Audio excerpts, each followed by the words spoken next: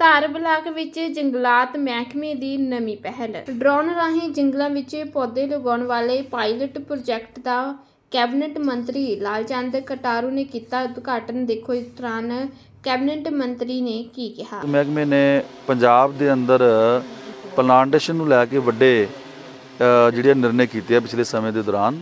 ਸੋ ਅਸੀਂ ਪੰਜਾਬ ਦੇ ਅੰਦਰ 3 ਕਰੋੜ ਬੂਟੇ ਪੰਜਾਬ ਦੀ ਸਰਜ਼ਮੀਨ ਦੇ ਉੱਤੇ ਲਾਉਣ ਦਾ ਜਿਹੜਾ ਟਾਰਗੇਟ ਮਿੱਥਿਆ ਜਿਹੜਾ ਅਸੀਂ ਬੜਾ ਸ਼ਾਨਦਾਰ ਢੰਗ ਦੇ ਨਾਲ ਉਹ ਪੂਰਾ ਕਰਨ ਵਾਲੇ ਪਾਸੇ ਜਾ ਰਹੇ ਹਾਂ। ਸੋ ਅੱਜ ਇੱਕ ਨਵੇਕਲੀ ਪਹਿਲ ਕਦਮੀ ਪਲਾਂਟੇਸ਼ਨ ਨੂੰ ਲੈ ਕੇ ਹੋਈ ਆ। ਜਿਉਂ-ਜਿਉਂ ਅ, ਟੈਕਨੀਕ ਨਵੇਂ ਮਤਲਬ ਆ ਰਹੀ ਆ। ਸੋ ਪਲਾਂਟੇਸ਼ਨ ਨੂੰ ਲੈ ਕੇ ਵੀ ਇੱਕ ਨਵੀਂ ਟੈਕਨੀਕ ਜਿਹੜੀ ਆ ਉਹ ਵਿਕਸਿਤ ਕੀਤੀ ਗਈ ਆ। ਤੇ ਤੁਸੀਂ ਦੇਖਿਆ ਕਿ ਅੱਜ ਡਰੋਨ ਦੇ ਰਾਹੀਂ ਡਰੋਨ ਦੇ ਰਾਹੀਂ ਪਲਾਂਟੇਸ਼ਨ ਕਰਨ ਦਾ ਮਤਲਬ ਜਿਹੜਾ ਆ ਉਹ ਕਾਜ ਅੱਜ ਪਾਇਲਟ ਪ੍ਰੋਜੈਕਟ ਪੰਜਾਬ ਦੇ ਅੰਦਰ ਪਹਿਲੀ ਵਾਰ ਜਿਹੜਾ ਆ ਉਹ ਸ਼ੁਰੂ ਕੀਤਾ ਗਿਆ ਪਠਾਨਕੋਟ ਦੇ ਕੰਢੀ ਇਲਾਕੇ ਦੇ ਅੰਦਰ। ਸੋ ਸ਼ਾਹਪੁਰ ਕੰਢੀ ਦੇ ਕੋਲ ਅਸੀਂ ਤੁਸੀਂ ਦੇਖਿਆ ਡਰੋਨ ਕਿਵੇਂ ਅ, ਉੱਤੋਂ ਸੁੱਟ ਰਿਹਾ ਉਹ ਜੰਗਲ ਦੇ ਅੰਦਰ। ਸੋ ਜਿਵੇਂ ਸੰਘਣੇ ਜੰਗਲਾਂ ਦੇ ਅੰਦਰ ਬਹੁਤ ਸੰਘਣੇ ਜੰਗਲ ਨੇ ਜਿੱਥੇ ਮਨੁੱਖ ਦਾ ਜਾਣਾ ਸੌਖਾ ਨਹੀਂ। ਜਿੱਥੇ ਕਈ ਵਾਰੀ ਪਲਾ- ਪਲਾਂਟੇਸ਼ਨ ਕਰਨੀ ਔਖੀ ਆ ਬੂਟੇ ਲਾਣੇ ਔਖੇ ਆ। ਸੋ ਉਸ ਏਰੀਏ ਦੇ ਅੰਦਰ ਖਾਸ ਕਰਕੇ ਵੈਸੇ ਤਾਂ ਕੁਦਰਤ ਨੇ ਸਾਨੂੰ ਬਹੁਤ ਕੁਝ ਦਿੱਤਾ, ਲੇਕਿਨ ਬਹੁਤ ਕੁਝ ਸਾਡਾ ਅਲੋਪ ਹੋ ਰਿਹਾ।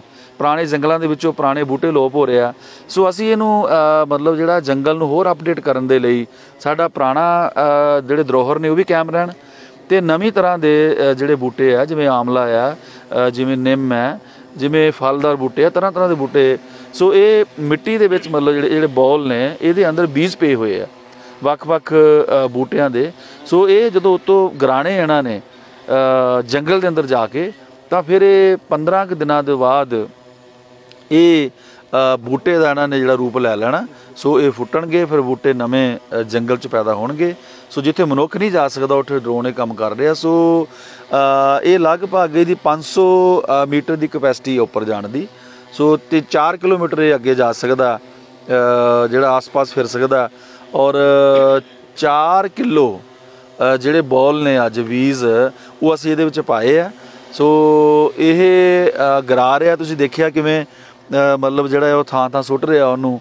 ਸੋ ਮੈਂ ਫੋਰੈਸਟ ਦੇ ਅਧਿਕਾਰੀ ਸਵਾਨਾ ਨੂੰ ਐਪਰੀਸ਼ੀਏਟ ਵੀ ਕਰਦਾ, ਉਹਨਾਂ ਨੇ ਵੱਡਾ ਉਦਮ ਮਾਰਿਆ। ਧਾਰ ਬਲਾਕ ਵਿੱਚ ਜੰਗਲਾਤ ਮਹਿਕਮੇ ਦੀ ਨਵੀਂ ਪਹਿਲ। ਡਰੋਨ ਰਾਹੀਂ ਜੰਗਲਾਂ ਵਿੱਚ ਪੌਦੇ ਲਗਾਉਣ ਵਾਲੇ ਪਾਇਲਟ ਪ੍ਰੋਜੈਕਟ ਦਾ ਕੈਬਨਿਟ ਮੰਤਰੀ ਲਾਲਚੰਦ ਕਟਾਰੂ ਨੇ ਕੀਤਾ ਉਦਘਾਟਨ। ਦੇਖੋ ਇਸ ਦੌਰਾਨ ਕੈਬਨਿਟ ਮੰਤਰੀ ਨੇ ਕੀ ਕਿਹਾ? ਮਹਿਕਮੇ ਨੇ ਪੰਜਾਬ ਦੇ ਅੰਦਰ ਪਲਾਂਟੇਸ਼ਨ ਨੂੰ ਲੈ ਕੇ ਵੱਡੇ ਜਿਹੜੇ ਨਿਰਣੇ ਕੀਤੇ ਆ ਪਿਛਲੇ ਸਮੇਂ ਦੇ ਦੌਰਾਨ। ਸੋ ਅਸੀਂ ਪੰਜਾਬ ਦੇ ਅੰਦਰ 3 ਕਰੋੜ ਬੂਟੇ ਪੰਜਾਬ ਦੀ ਸਰਜ਼ਮੀਨ ਦੇ ਉੱਤੇ ਲਾਉਣ ਦਾ ਜਿਹੜਾ ਟਾਰਗੇਟ ਮਿੱਥਿਆ, ਜਿਹੜਾ ਅਸੀਂ ਬੜਾ ਸ਼ਾਨਦਾਰ ਢੰਗ ਦੇ ਨਾਲ ਉਹ ਪੂਰਾ ਕਰਨ ਵਾਲੇ ਪਾਸੇ ਜਾ ਰਹੇ ਹਾਂ।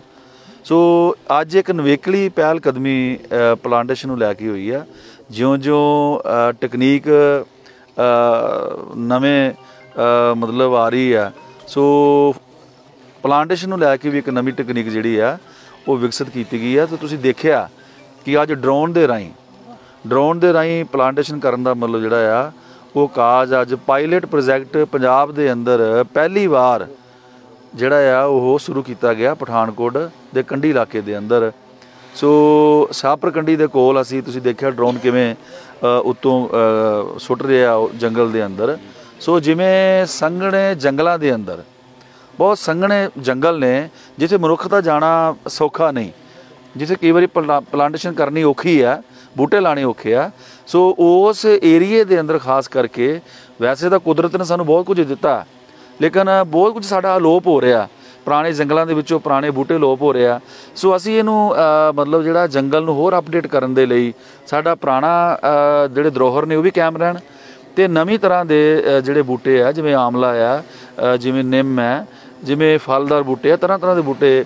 ਸੋ ਇਹ ਮਿੱਟੀ ਦੇ ਵਿੱਚ ਮਤਲਬ ਜਿਹੜੇ ਜਿਹੜੇ ਬੌਲ ਨੇ, ਇਹਦੇ ਅੰਦਰ ਬੀਜ ਪਏ ਹੋਏ ਆ, ਵੱਖ-ਵੱਖ ਬੂਟਿਆਂ ਦੇ।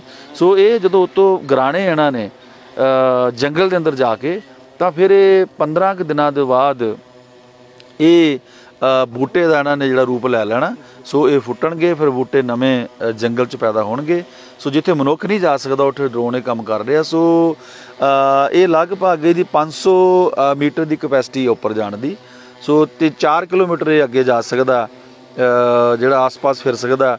ਔਰ 4 ਕਿਲੋ ਜਿਹੜੇ ਬੋਲ ਨੇ ਅੱਜ ਵੀਜ਼ ਉਹ ਅਸੀਂ ਇਹਦੇ ਵਿੱਚ ਪਾਏ ਆ। ਸੋ ਇਹ ਅ, ਗਰਾ ਰਿਹਾ। ਤੁਸੀਂ ਦੇਖਿਆ ਕਿਵੇਂ ਮਤਲਬ ਜਿਹੜਾ ਉਹ ਥਾਂ ਥਾਂ ਸੁੱਟ ਰਿਹਾ ਉਹਨੂੰ। ਸੋ ਮੈਂ ਫੋਰੈਸਟ ਦੇ ਅਧਿਕਾਰੀ ਸਵਾਨਾ ਨੂੰ ਐਪਰੀਸ਼ੀਏਟ ਵੀ ਕਰਦਾ। ਉਹਨਾਂ ਨੇ ਵੱਡਾ ਉਦਮ ਮਾਰਿਆ।